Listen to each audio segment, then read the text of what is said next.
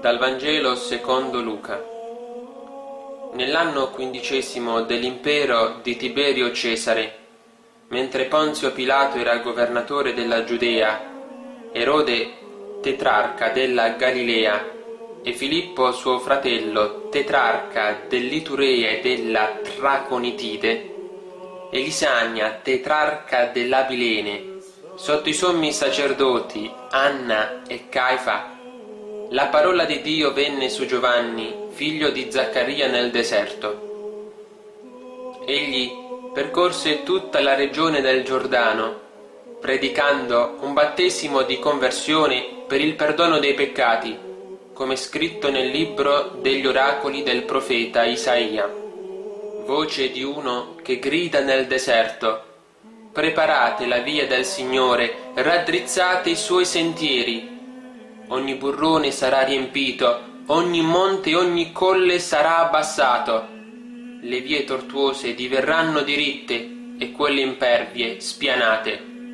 Ogni uomo vedrà la salvezza di Dio. Stiamo celebrando la seconda domenica di Avvento, siamo ormai nella prossimità dell'inizio del grande giubileo che Papa Francesco ha voluto per tutta quanta la Chiesa. E allora vogliamo ancora una volta ringraziare il Signore per i suoi benefici, per la sua misericordia, per il dono grande del suo amore, soprattutto per questo nuovo anno, nuovo anno della Chiesa, ma anche questo nuovo anno santo, un anno straordinario della misericordia in cui sicuramente il Signore nella nostra storia vuole compiere il suo progetto di amore per cui ogni carne, ogni uomo vedrà la salvezza di Dio e la salvezza di Dio è la sua misericordia.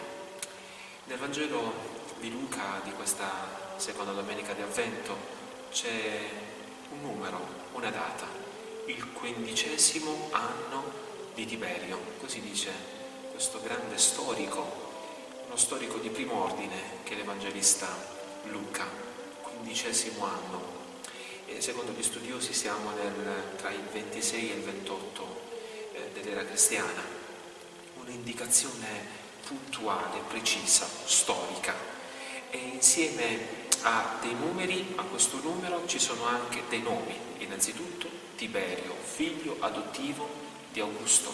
E poi c'è Ponzio Pilato, che è stato governatore della Giudea tra il 26 e il 36 d.C. Ponzio Pilato, famosissimo personaggio della passione del Signore. Quindi ci sono due personaggi eh, politici, ma insieme a questi ci sono anche dei, degli altri personaggi, non dell'ampiezza e della grandezza di Tiberio e di Ponzio Pilato, ma sempre personaggi eh, storici, realmente esistiti, che fanno parte della politica del tempo. Sono i tetrarchi, coloro che governano su una quarta parte del regno del grande re Erode. E sono Erode Antipa, poi il suo fratellastro Filippo e poi Lisania. Sono personaggi particolari, un po' lugubri, eh, che eh, tante volte sono lo specchio della società eh, dell'epoca, ma le coordinate storiche non si fermano solamente eh, alle, eh, a una, una qualità eh, politica, c'è anche una realtà religiosa. Si fa menzione dei sommi sacerdoti Anna e Caifa, Giovanni, diminutivo Anna era ormai il sommo sacerdote scaduto e deposto dai Romani nel 15 e dopo di lui c'era stato e c'è stato il grande sommo sacerdote Caifa, addirittura sommo sacerdote dal 18 al 36 d.C. Sono anche questi, insieme a Ponzio Pilato, dei personaggi che più che del periodo di avvento sono personaggi del periodo di Pasqua, della Quaresima, perché ci rimandano agli episodi della passione del Signore. Però proprio in queste coordinate spazio-temporali, dove ci sono dei personaggi, delle persone realmente esistite, c'è un'altra persona realmente esistita, Gesù di Nazareth. Qual è l'intento teologico eh, di Luca? Eh, sottolineare come nella nostra storia, nella nostra storia personale, eh, nella nostra storia sociale, economica, politica, relazionale, nazionale e internazionale, in questa storia, non in un tempo che è parallelo a noi, ma nella nostra storia, quello che noi viviamo, c'è la salvezza e questa salvezza è Gesù di Nazareth, che non è solamente il figlio di Maria, il padre Giuseppe, ma è il figlio di Dio che si è fatto carne e attraverso la sua carne viene a salvare l'umanità. E la sua carne dice la nostra storia, dice il nostro tempo, dice la nostra vita, dice ciascuno di noi, che lui assume su di sé e in sé e redime.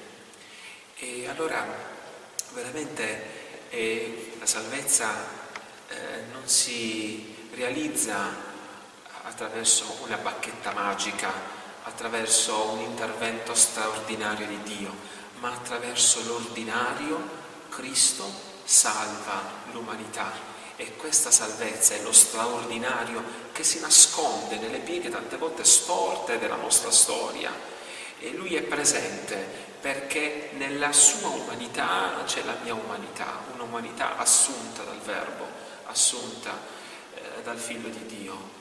E allora io non sono estraneo, anzi, eh, con Gesù il tempo è diventato offerta di salvezza, è diventata la possibilità, il tempo per conquistare l'eternità, sapendo che l'eternità ha conquistato il tempo con l'avvento, la venuta di Gesù.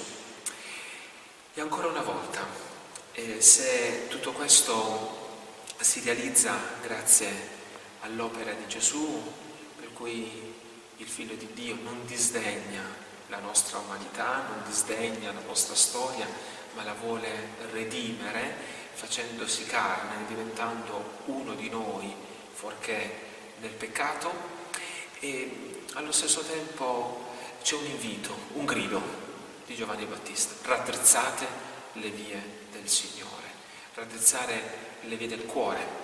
Già l'abbiamo ascoltato nella prima lettura, tratta da Baruch, questo segretario eh, di Geremia, bisogna raddrizzare le vie e certamente sono tanto le vie che il popolo ha ripercorso ritornando da Babilonia, quando nel 586 il popolo di Israele ha vissuto un evento drammatico, la distruzione del Tempio da parte dei, dei babilonesi e il popolo piangendo è andato in esilio. Ora da Babilonia ritorna a Gerusalemme con l'intenzione di ricostruire la propria identità, la propria vita, il proprio Tempio. E attraverso questa ricostruzione che si fa tutto nuovo, per cui bisogna abbassare i colli, bisogna raddrizzare le vie, bisogna pianare le strade, bisogna colmare le valli, tutto deve essere in ordine, perché dobbiamo accogliere la novità di Dio, tutto deve essere bello, Eppure c'è una bellezza ancora più grande della ricostruzione di un tempio, della salvezza di un popolo, e mm, la salvezza che ci viene a portare Cristo. Perché con la salvezza di Cristo ogni popolo riacquista la sua identità di popolo e soprattutto di figlio, di figlio di Dio e quindi di fratelli. E il Signore vuole realizzare tutto questo, però è necessario raddrizzare la nostra via, camminare sul sentiero giusto, che poi è Cristo Signore. Lui ha detto, io sono la via, la verità e la vita, cioè Lui è la via della vita. cioè la verità che viene a illuminare la nostra esistenza, di una luce altra, di una luce invisibile, di una luce interiore, invisibile agli occhi della carne, ma visibilissima con gli occhi del cuore. E questo il regno eh, di Cristo che viene a instaurare. Però per, fare, eh, per realizzare tutto questo è necessario abbassare la montagna del nostro orgoglio e soprattutto colmare la valle dell'indifferenza del cuore. È necessario abbassare il nostro io per far posto a Dio, perché poi il nostro io possa essere purificato ed esaltato in Cristo e poi aprire il nostro cuore alla compassione, alla compassione verso Cristo che è presente in ogni fratello che ci sta a fianco. Allora chiediamo al Signore e in questa seconda domenica di Avvento e di riconoscerlo nella nostra vita, nella nostra storia, ma soprattutto che ci dia la forza di seguirlo con un passo nuovo, un passo rinnovato, il passo della fede e quel passo che ci fa seguire Lui e che allo stesso tempo ci mette a fianco a tanti nostri fratelli, soprattutto che vivono difficoltà che vivono la sofferenza dovuta alla mancanza di cibo, di lavoro, di pace, di salute, ma soprattutto della grazia di Dio.